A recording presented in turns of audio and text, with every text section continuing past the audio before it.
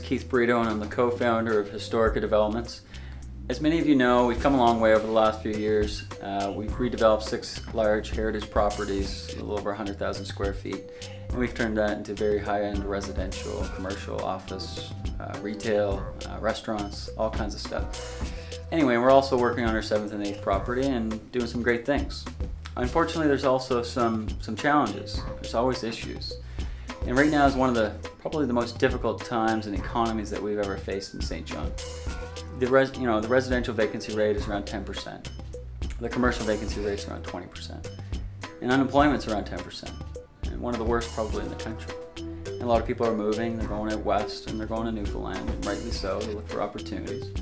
But based on where we are today and where we can go and where we will go in the future if we work together, there's this huge differential there's this huge opportunity because real estate it follows the economy and there's so much in the pipeline there's talk about the west east pipeline um, there's talk about converting our lng terminal to an export terminal which is the only one on the eastern seaboard we have the capability of handling the largest ships in the world at our port we're actually closer to india than the western part of the country we're talking about another potash mine 45 minutes away potash terminal, fertilizer plant, etc., etc.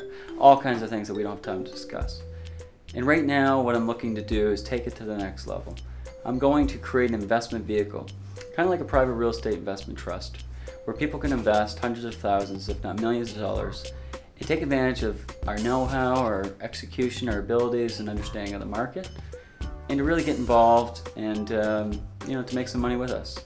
We're looking for investors. We want to create that proper investment vehicle. So reach out to us if you're interested. We look forward to talking to you. And we look forward to flipping Saint John. Thank you for your time. I appreciate it.